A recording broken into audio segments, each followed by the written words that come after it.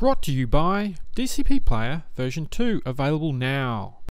Hello, this is James Gardner, the Cine Tech Geek, and today I'm on actually on the Christie stand, and I'm showing a new product that they've got called the Duo.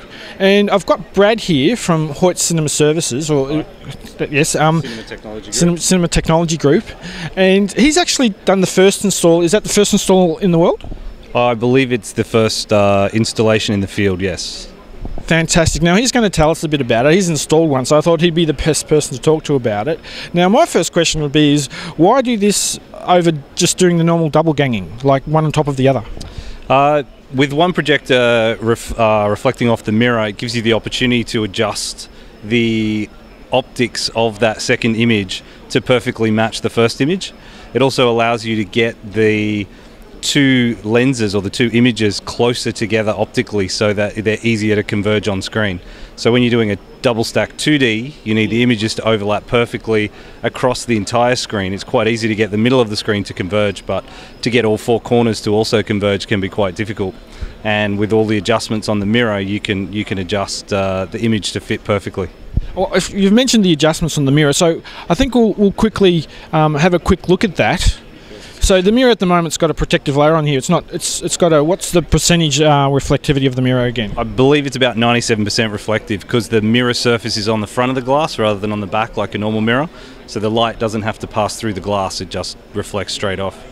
Okay, so this is glass with a very the, the very reflective mirror, and so these are all the adjustments which allows you to warp the glass That's to correct. exactly match the image of the first projector. That's correct. Yeah. So you may not think the glass would be that flexible to be able to do that, but some of these adjustments can move the image, you know, a couple of meters up and down on the screen. So by uh, locking three of them down, it gives the others the ability to warp various parts of the mirror in different directions. And it was basically a couple of days of trial and error and fine tweaking and adjusting to get it to match up perfectly.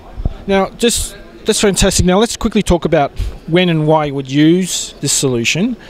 First of all, um, off the top of my head, for big, big, big screens, and for 3D. So, is that is that basically where you mostly use this, or is there any other reason?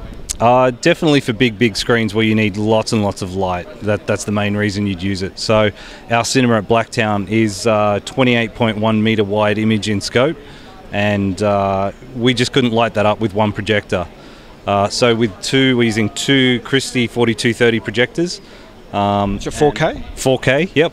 And we've got a 6K lamp in each projector. And uh, at 100% power, we can get 16 foot Lamberts across the whole image in, um, in 2D. So, uh, really bright image, really spectacular image, in fact. It looks amazing.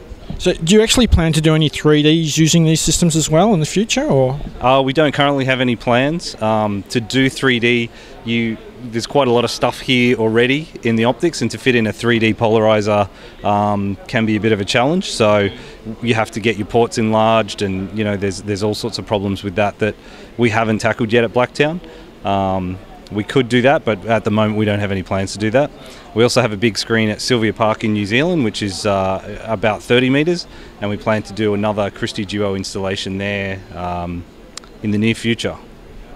Well, thank you very much for um, telling us about your install and this um, quite a spect- like a very uh, you know quite impressive looking device there. It looks amazing. Yes, yeah, it does. Yes. It looks pretty good. Anyway, The image on screen looks amazing as well as the setup itself. Oh, I'd love to see a screen. I've no, I haven't really seen a screen that big before, so I'd, I'd love to go and see something like that soon. Yeah. But anyway, thank you for watching Cine, Cinematech Geek, and uh, I hope you've enjoyed uh, our look into all the different technologies coming out for your cinema, and hope you hope to see you in some future videos. Thank you. Bye for now.